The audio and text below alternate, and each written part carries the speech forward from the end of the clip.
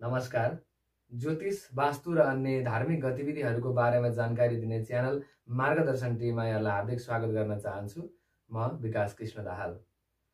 आज हजुरहरूलाई म यस भिडियोमा हामीले जप कसरी गर्ने भन्ने जस्तै जुनसुकै जप होस् हाम्रो गायत्री मन्त्र होस् अथवा चाहिँ कुनै ग्रहको जप होस् अथवा कुनै भगवान्को मन्त्रहरू चाहिँ जप्ने गर्नुभएको छ अथवा जप्नु पर्ने छ। हामीले कसरी चाहिँ ती मन्त्र जप्ने भन्ने धेरैलाई आउँदैन। मालाले कसरी जप्ने? मालाबाट जप गर्नु पर्यो भने कसरी गर्ने? र त्यसै गरेर हातले गन्ती गर्नु पर्यो हातले जप गर्नु पर्यो भने कसरी गर्ने? यी सबै म जानकारी दिने नै छु। र हामीले जप गर्दाखेरि प्राय एक सय आठ गर्नु पर्दछ हाम्रो रुद्राक्ष मालामा एक सय आठको माला पाउँछ त्यो मालाले एक सय आठ गर्नु पर्दछ। र कुनै भगवान्हरूको जप गर्दाखेरि एक सय आठ गरिन्छ। र कुनै ग्रहहरूको अब कुनै ग्रहको चाहिँ जब छ हजार हुनसक्छ कुनैको बाह्र हजार कुनैको तेइस हजार हुनसक्छ जति भए पनि त्यो ग्रह जति अवधि चल्ने हो बिहान बिहान आफैले गर्नु पर्दाखेरि पनि बिहान बिहान एक सय आठ एक सय आठ चाहिँ यस क्रमले हामीले गऱ्यो भने ग्रह शान्ति हुन्छ र गर्न सकिन्छ। र अब म हजुरलाई देखाउन गइरहेको छु। मालाले कसरी जप्ने भनेर म मालाले जप्न गर्दैछु। यहाँ मसँग एउटा एक सय आठको रुद्राक्ष सानो दाना भएको एक सय आठको माला छ। र हामीले अब पहिला तिनचोटि आचमन गर्नुपर्ने हुन्छ। आचमन गर्दाखेरि ओम माधवाय नमः स्वाहा भनेर यसरी जल खाने। यो जललाई यहाँ लगाउने र यो जल पनि अब धेरैजनालाई आउँदैन कहाँबाट खाने भन्ने हाम्रो ब्रह्म तीर्थ भन्छ। यहाँनिरबाट चाहिँ हामीले जल यसरी खाने। ओम माधवाय नमः स्वाहा। ओम नारायणाय नमः स्वाहा। ओम केशवाय नमः स्वाहा। ओम गोविन्दाय नमः। अर्कोचोटि हालेर हामीले त्यसलाई भुइँमा खसालिदिने र हामीसँग यसरी माला छ। म पहिला मालाले कसरी जप्ने भन्ने हजुरलाई देखाउँछु। र त्यसपछि हातले कसरी गन्ती गर्ने हातले कसरी जप्ने भनेर पनि म देखाउँछु। यो माला भयो। यो मालालाई अब धेरैजनाले पक्रिन आउँदैन यो मालालाई। यसको एक सय आठ हुन्छ।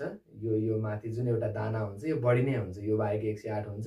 यसले गर्दा एक सय नौ हुन्छ। यसलाई गर्नु पर्दैन र यसलाई गर्नु पनि हुँदैन कटाउनु पनि हुँदैन। हामीले माला राख्दाखेरि यसरी राख्ने यो औँलामा यो साइली औँलामा राख्ने र चोरी औँलाले यसलाई छुनु हुँदैन र यो दुईवटा औँलाको सहायताले यो औँलाले यसरी सार्दै बुढी औँलाले गन्ती गर्ने। एकचोटि मन्त्र भन्ने जस्तै एउटा भनौँ ओम नमो भगवते वासुदेवाय।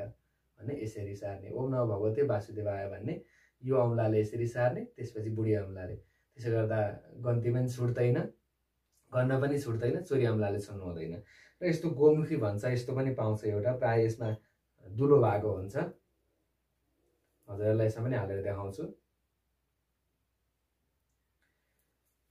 यसरी हामीले यसरी हाल्ने। यहाँ दुलो भएको पनि पाउँछ यो दुलो। यसमा चाहिँ दुलो छैन किन भन्दा हामी त बानी परिसकेको छौँ दुलो बनाइरहन आवश्यक हुँदैन। अरूलाई चाहिँ चोरी अम्ला तल गएको गएकै गर्छ त्यही भएर यहाँ दुलो हुन्छ। यो दुलोबाट बाहिर चोरी अम्ला निकालेर यसरी हामीले जब गर्नुपर्छ। यो मालालाई कहिले पनि बाहिर देखाएर गर्नु हुँदैन जहिले पनि यसरी छोपेर गर्नुपर्छ र यसरी यसरी चाहिँ जब गर्ने। र हजुरहरूसँग यो छैन भने हामीले कपडाले यस्तो कपडा कुनै कपडाहरूले चोखो कपडाहरूले यस्तो रामनामी अथवा जुनसुकै होस् कपडाले यसरी चाहिँ छोपेर गर्न सकिन्छ। र अब हामीले जब गर्दाखेरि बाहिर कराएर भन्नु हुँदैन जस्तै अब ओम नमो भगवते वासुदेवाय ओम नमो भगवते वासुदेवाय त्यसरी जप्ने होइन मनमा नै भन्ने। हामीले चाहिँ ध्यान गरेर मनमा नै र मुख मात्रै चलोस् त्यसरी गर्नुपर्ने हुन्छ। र हामीले ध्यान केन्द्रित गर्नको लागि यो औँलालाई यस्तो गरेर सिधा बनाएर यसरी टाढा नखुम्चाइकन यसरी गर्नुपर्ने हुन्छ। यो किसिमले चाहिँ जब गर्नुपर्ने हुन्छ यसरी छोपेर। हामीले चाहिँ यसरी छोपेर गर्नुपर्दछ। र अब एक सय आठभन्दा बढी जप्नुपर्ने छ। एक सय आठभन्दा बढी जप्नुपर्ने छ भने हामीले यसरी जस्तै अब भनौँ मन्त्र जुनसुकै होस् कुनै भगवान्को मन्त्र जप्नुहुन्छ कसैले कसैले गायत्री मन्त्र हुन्छ कसैले हामीले कुनै ग्रहको मन्त्रहरू ग्रह शान्तिको लागि चाहिँ मन्त्रहरू जप्ने गर्दछौँ र एक सय आठभन्दा बढी जप्नु पर्दाखेरि एक सय आठभन्दा जप्नु पर्दाखेरि अब यसरी हामीले गन्दै गयौँ यहाँबाट। भगवते वासुदेवाय नमो भगवते वासुदेवाय वासुदेवाय। यसरी गन्दै गयौँ जब यो गनेर हामीले मालामा यहाँ पुर्यायौँ अब यहाँ सक्यौँ।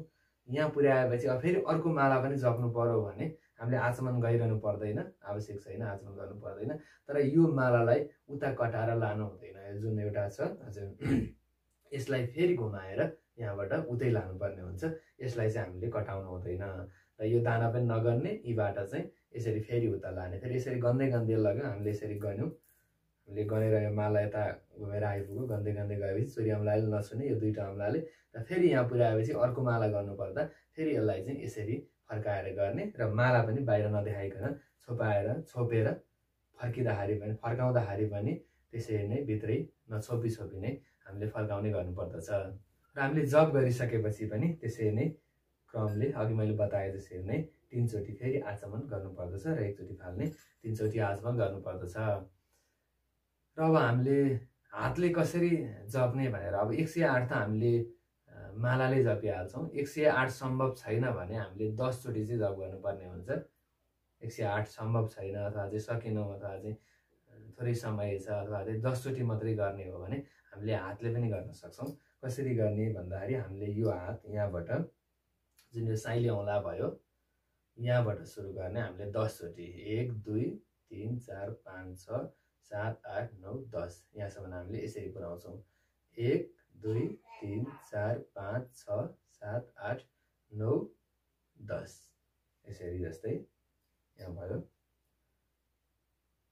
यहाँबाट ओम नव भगवते वासुदेवाय ओम नव भगवते वासुदेवाय ओम नव भगवते वासुदेवाय ओम नव भगवते वासुदेवाय ओम नव भगवते वासुदेवाय ओम नव भगवते वासुदेवाय ओम नव भगवते वासुदेवाय ओम नव भगवते वासुदेवाय। ओम नम भगवते वासुदेवाय ओम नम भगवते वासुदेवाय। मन्त्रलाई चाहिँ मनमा नै भन्नुपर्ने हुन्छ तर हामीले अब यसरी गर्ने मनमा नै भनेर।